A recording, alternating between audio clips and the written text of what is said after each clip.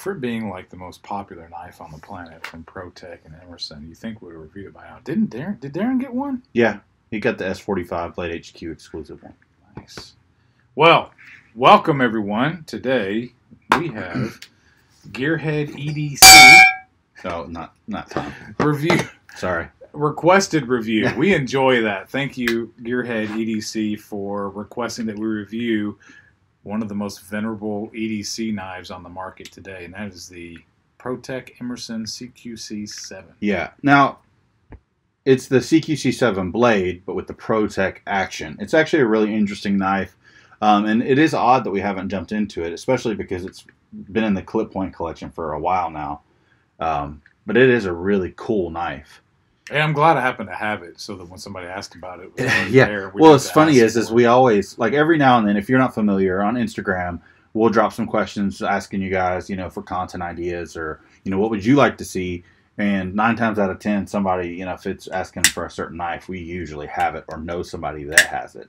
yeah, Um, yeah, but this one, it was just kind of odd that we hadn't done it yet. So yeah. It's it's probably because we just think the knife's been out for so long that maybe there's not a lot of demand for people to have a review on it. But you know what?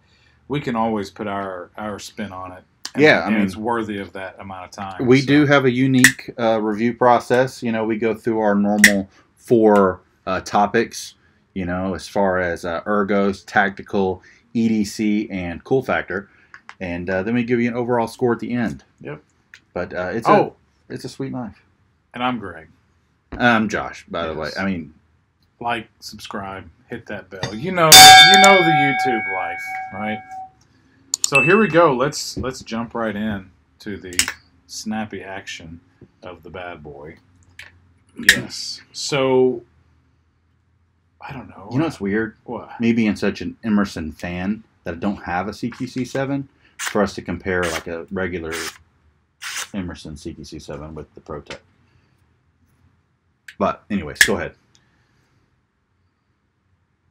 I saw it and you know, I wanted that automatic with that aggressive tanto, Mhm. so I had to have it. Um, Now that is a chisel grind, right? Yeah, it is a chisel grind, and that that threw me because I didn't know that when I first bought the Right. knife. Right, I knew that about Emerson, but I didn't think that it carried over to ProTech. So when I got the knife, I was like, "Whoa!" Which I'm curious. I don't know, and I, I don't think we know in together.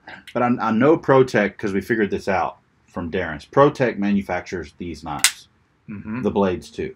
That's my understanding. So if um, I bet it doesn't have the Emerson heat treat. Oh, that's a good question. I, I'm not sure how that. That works. that's interesting though. Um, because we've heard us. If you've been on this channel for any time, you've heard us rave about Emerson's heat treat. So I would be interested to know. So I think we should jam it into this metal table and then see if we can bring that tip back. not gonna happen. My name is not Chip. I'm not my I'm not my baby brother. so the the cool thing about this is is the all black with the kind of the brushed silver hardware. Yeah. I really enjoy that. You know, when I got the knife, it was not sharp. That's you know kind of typical.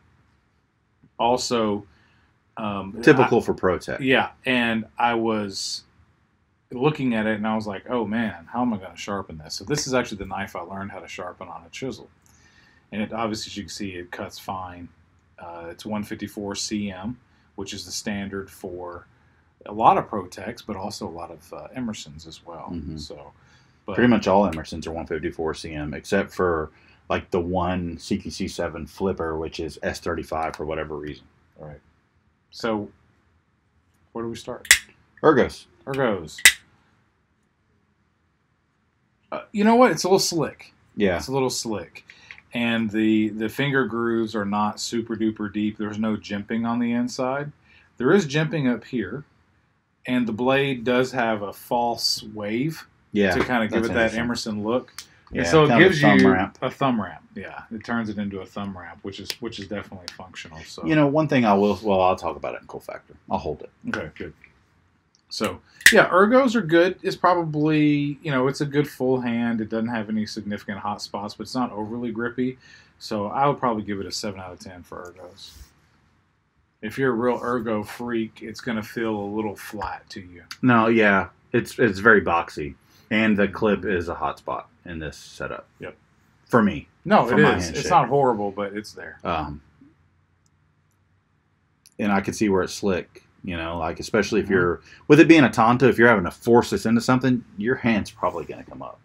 It might. I mean, when you really think about it. Yep. I'm going to go six out of ten uh, for me on it, Yep. mainly because of how slick it feels. Yep. Um, I can get past the hot spot. I can get past the boxiness, but Most ProTechs are that way, though. oh yeah, most of them are. Now they do make different variations, and I've seen some that have some grip, but most the common is this kind of anodized aluminum. Yeah. All of Uh, my all of my ProTechs have a similar feel. That is snappy. It Because is. it's a ProTech. It's a ProTech. So tactical. Yeah. So tactical, it does have the intimidation factor. It does have an excellent tactical blade.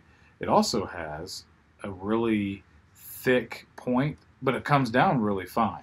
It- so I mean, it's the it's got good stock. The way they designed it's the tanto. Uncle Sam of tanto blades. I mean, when you come to the OG American tanto blades, it's That's what it looks like. It's got a slight drop that Well, leads I to mean- a more aggressive point. So yeah, from a tactical standpoint, Daddy Ernie over at Emerson, kind of yep, kind of spearheaded the uh, tanto, the American tanto. You know, no pun intended with the whole spearheaded, but from a look point, it's very very tactical. Yeah. Sorry, I'm supposed to be laughing at that point. Ha, ha, ha. ha ha ha ha ha. It looks it looks more tactical than it is Right. because it is a little too slick. Mhm. It, it does not have deep enough grooves or some sort of jimping or maybe you know inserts that would create. I like the aesthetic of it. It's very pleasing to the eye, but I'd probably I think your GSD uh, ProTech is more tactical than this yeah. I mean because it a- has the insert. does have finer point. Does have an insert, so that you're you're kind of if molds your hand molds to it more. Mhm. So you know, from a tactical standpoint, it is an automatic, so it has the intimidation factor of tactical, but practical tactical. How many times am I say tactical?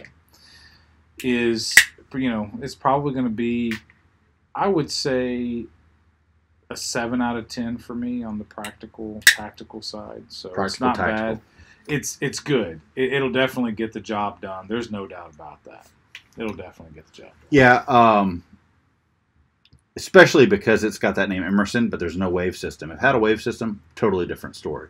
Um, I mean, it's going to be fast to deploy because it's an automatic, but it's still not wave fast. Um, like I mentioned earlier, it's slick. So if you jab it into something, you know that little bit of jimping ain't stopping your hand from sliding up. The only thing that's going to stop your hand from sliding up is if whatever you put it in is right up against the handle there. Um, but you know, it definitely has the intimidation factor, like Greg said. Um, If you like to EDC a tanto, that would be a really great automatic EDC, and I did carry it quite a lot. It's been carried. It does a good job. It's reliable. It's lightweight. Let me see how much it weighs real quick. Um, but I'll, I'll probably go six out of ten. I think for me for tactical. Yeah. Um, So under four and a half ounces for a good three and a half inch roughly blade. So yeah, but you know, considering if you were in the market for, you know, this knife in particular, and you just like the automatic, and you know, you're just a fiend for that, and you want that, this is a great option. yes, But if you really are wanting a more of a tactical blade, I would suggest you look at the standard Emerson CQC7. that's what I would do. All right, then, into uh, EDC. Yeah, so it's lightweight, very functional. For a tanto blade, you know, its EDC is pretty pretty up there. It's kind of surprising because a lot of times tantos, you know, don't do as well in my mind. But I've carried this this a lot, and from an EDC standpoint, its size, its ergos are reasonably good. I'm gonna give it an eight out of ten on EDC. It is more of an EDC knife than it's a tactical knife, even though it's a tactical blade. You know, so there's some blended themes here in my mind. So, but yeah, I've enjoyed carrying it. It's very snappy, very reliable. Well, it being not heavy is a huge plus for EDC. It's only four Um, ounces. That is that is light. Pretty deep carry clip. Um, obviously, snappy. It's not going to be great to pull out in mixed company. Yeah. Um, but you could soft open it. You could unlock it and just kind of roll it out. Um, what was your score? Eight. Eight. I enjoy. I, I've enjoyed carrying. Well, and it's your knife. You Yeah. you've had some time with it. it's been it's been it's been very functional, very usable.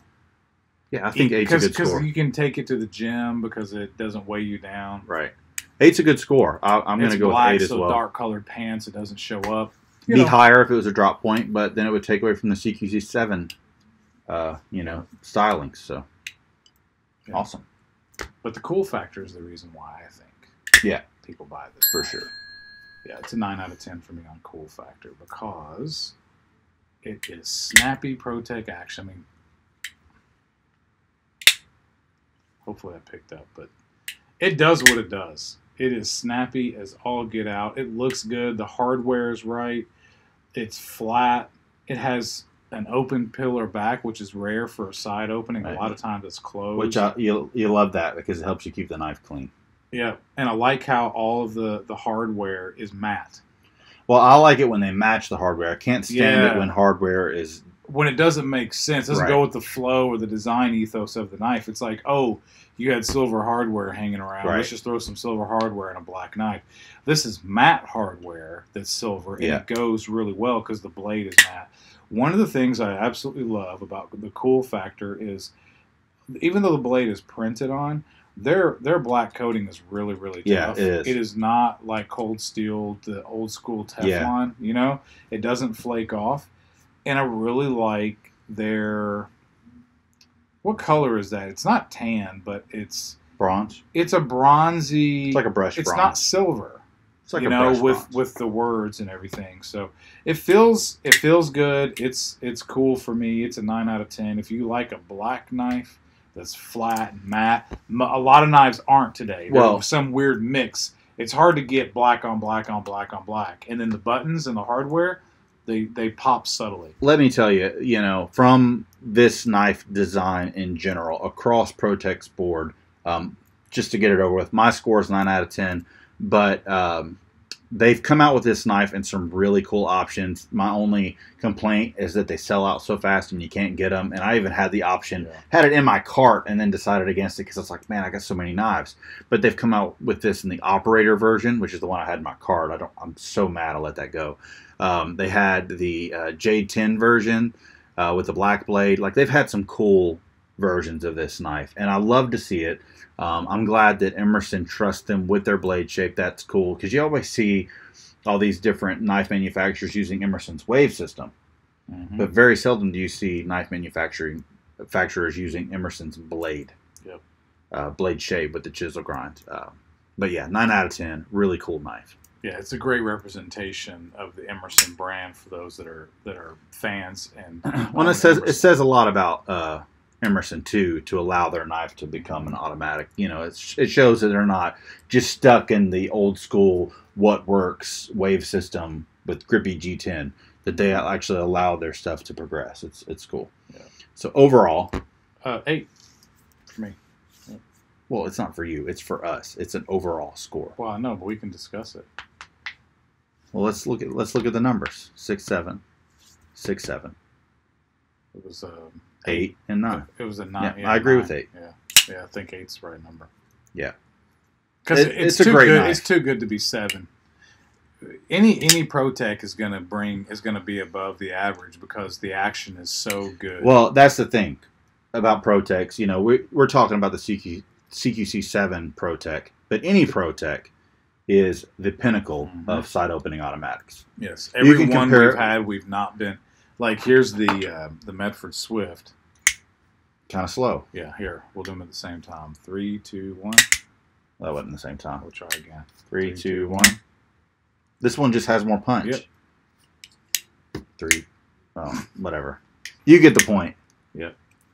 And it's not to diminish any other anybody else's automatic. It's just for whatever reason, ProTech's side opening automatics just have the punch. I don't know if it's the spring. I don't know, but if you're gonna get one, it's the one to get. Yeah, you're always going to enjoy your ProTech. Yeah. It's going to function. It's going to hit hard. It's going to be well designed. Our feedback to ProTech, they'll probably never see this. Sharpen your knives. Yeah, for real.